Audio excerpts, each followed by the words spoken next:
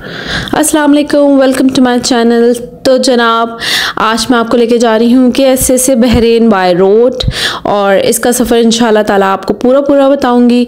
आपने मेरा वाला व्लॉग तो देखा ही होगा, जो मैं यूएई से कैस से आई थी तो मैंने पूरी डिटेल्स डाली थी और अगर नहीं देखा है तो अभी जाके देख लें जल्दी से। तो आपको समझ आ जाएगा कि ये सारी चीज़ें कनेक्टेड हैं।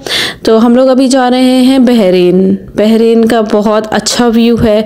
बहरीन क्रॉस वे पे है पूरा पूरा आपको पता ही है कि सा, सा, मतलब दोनों तरफ़ उसके समंदर है। और फिर यहाँ से मैं आपको पूरा बताऊँगी कि हमने किस तरीके से ट्रैवल किया क्या क्या चीज़ों की ज़रूरत थी, कितने टोल गेट चाहे।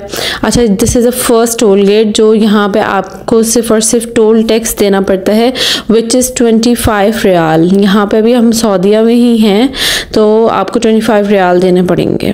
फिर हम इससे आगे जाएँगे तो एक और आएगा, वो होगा सऊदी एग्ज़िट फिर उसके बाद हम उससे आगे जाएँगे।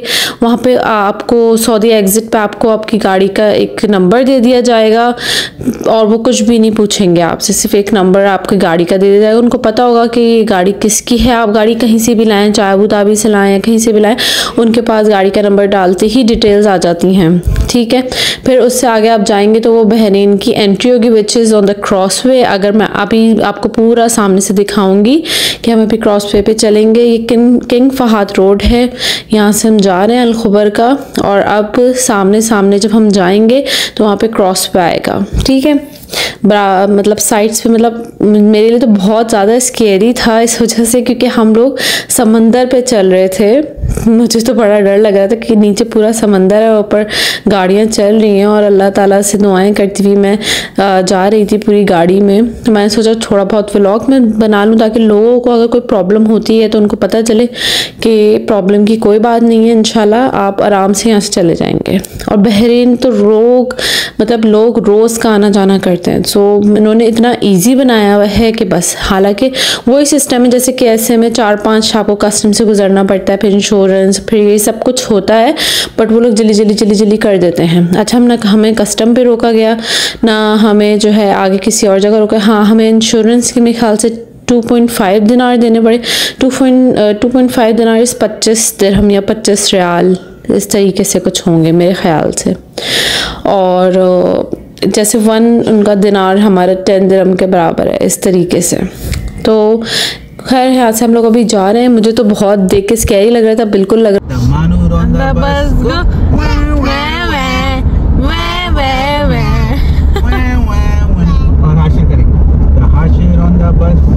I love you, I love you, I love you.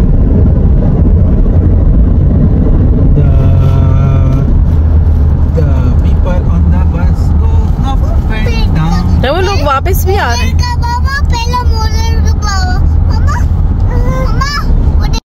तो मैं अपने हस्बैंड को कह रही थी कि लोग वापस भी आ रहे हैं क्योंकि वीकेंड्स पे अक्सर लोग जाते हैं। बहरहाल, लोग काम के सिलसिले में भी आना जाना करते हैं, क्योंकि मेरे हस्बैंड के जो फ्रेंड हैं या कलीग हैं, वो रोज़ बहरीन से आते जाते हैं केस से। क्योंकि थर्टी मिनट्स की ड्राइव है, शायद वीकेंड पे वन आवर लग जाता होगा। जो आप सामने देख रहे हैं, ये है यहाँ का क्रॉस वे और यहाँ पे बिल्कुल इनका बॉर्डर है बहरीन का। तो आप जैसे क्रॉस करेंगे, बहरीन के बॉर्डर में एंटर हो जाएँगे। ये वहाँ से चाहते ही आपसे आपका वो वाला जो गाड़ी का होगा जो उन्होंने आपको पर्ची दी थी गाड़ी की वो नंबर मांगेंगे।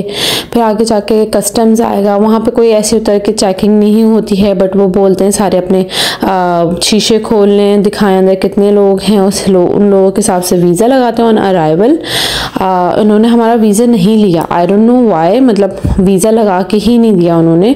और पैसे भी नहीं लिए। वैसे वीज़ा के पैसे हैं फिफ्टी परसेंट ईच तो हम लोग चार हैं तो हमारे टू हंड्रेड हमें पता था लगेंगे बट उन्होंने बग़ैर ऐसे ही एंट्री दे दी। तो हम लोग तो इतने खुश कि यार विदाउट वीज़ा एंट्री दे दी।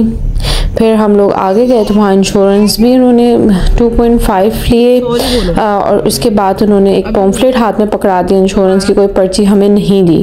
खैर हम अभी जा रहे थे हमें प्रोसेस इतना समझ नहीं आ रहा था लेकिन हम लोग खुश थे कि चलो ठीक है कहीं बचत हो गई क्योंकि उन्होंने पहले पूछा कि आप लोग फैमिली के साथ ट्रैवल करें फ़र्स्ट टाइम ट्रैवल करें? तो मेरे हस्बैंड ने बोला yes we are travelling first time family के साथ ये बच्चे यहाँ खेल रहे हैं। गाड़ी का कुछ ऐसे व्यू है। बहरहाल तो हम लोग ट्रैवल कर रहे थे वहाँ पे तो हम लोगों ने बोला, ठीक है विद फैमिली ट्रैवल करें। तो उन्होंने बोला, ओके, फिर उन्होंने कोई वीज़ा नहीं लगाया। सो हम लोग खुश हो गए हम लोग बस यहाँ पे अब बहरीन एंटर होने वाले हैं। सो मेरी तो बहुत खुशी थी बिकॉज़ एक नई चीज़ थी, लोग डराते भी हैं। जैसे कैस से मैं अंदर एंटर होते हुए खुशी हुई, वैसे यहाँ पर भी एंटर अंदर एंटर होते हुए मुझे बहुत बहुत खुशी हुई। उस वक्त अजान भी हो रही थी तो मैं आगे इतना नहीं बोलूँगी, आप लोग अजान भी सुन लीजिएगा। बाकी यहाँ तक का हमारा सफ़र इतना स्मूथ था, इतना अच्छा था। बाकी हमें इस होटल जो है वो फ्री मिला। कैसे फ्री मिला मैं आके आगे चल के आपको बताती हूँ। हमारा स्टे बहुत अच्छा था कॉम्प्लीमेंट्री ब्रेकफास्ट मिला। मतलब बहुत मज़ा आया बहरीन में। मैं आपको आगे की स्टोरी पूरी सुनाऊँगी इन ताला मैं वॉइस ओवर कर रही हूँ। तो मैं आपको बताऊँगी कि उसके बाद क्या हुआ। देखें, अल्लाह ताला जो चाहता है ना, वही होता है। सो आपने बस अल्लाह पे अपना फेथ रखना है इन ताला। बाकी अल्लाह ताला सब कुछ बेहतरीन करता जाएगा। और बाकी हम लोग बस टोल से निकले और जब बहरीन में एंटर हुए तो मेरी तो खुशी बहुत लेवल की थी। आप देखेंगे आगे फ़िलहाल में। इस तरीके से इनके टोल्स बने हुए हैं। बहुत अच्छा इन्होंने बनाया हुआ है अंदर एसी वाला। और बहुत बहुत सारे बनाए हुए हैं। एक भी नहीं, कोई, मेरे ख्याल से बीस, पच्चीस, तीस होंगे। बहुत सारे क्योंकि लोग पे इंतहा जाते हैं। कस्टम्स आ गए हैं यहाँ पर ठीक है जी, अगर कोई प्रॉब्लम होती है तो आपको वहाँ गाड़ी रोक के कस्टम्स पे बुला लेते हैं। वैसे आते हुए तो कुछ मसला नहीं हुआ, कुछ भी। बहुत स्मूथ था, इन्होंने बिल्कुल जान दिया। मेरे ख्याल से वीकेंड था, बहुत रश था शायद इस वजह से। नेक्स्ट मैं आपको इन शाला ताला से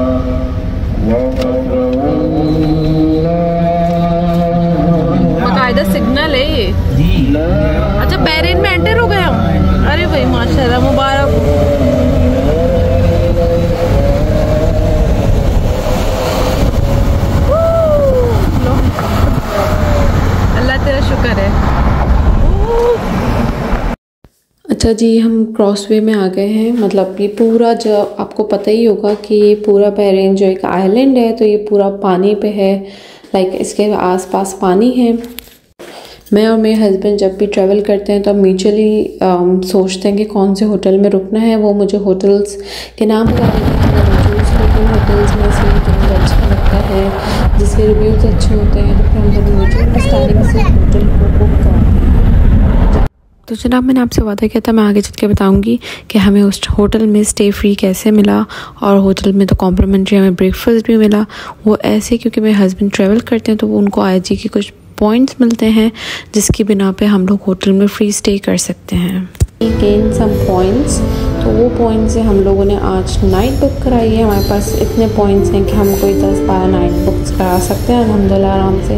बट हमें जहाँ ज़रूरत होती है, हम वहाँ पे ही बुक कराते हैं। तो ये बहुत ज़बरदस्त आई एच जी का होटल है इंटर कॉन्टीनेंटल ये मेरे हस्बैंड ने बुक कराया यहाँ बिल्कुल फ्री नाइट थी।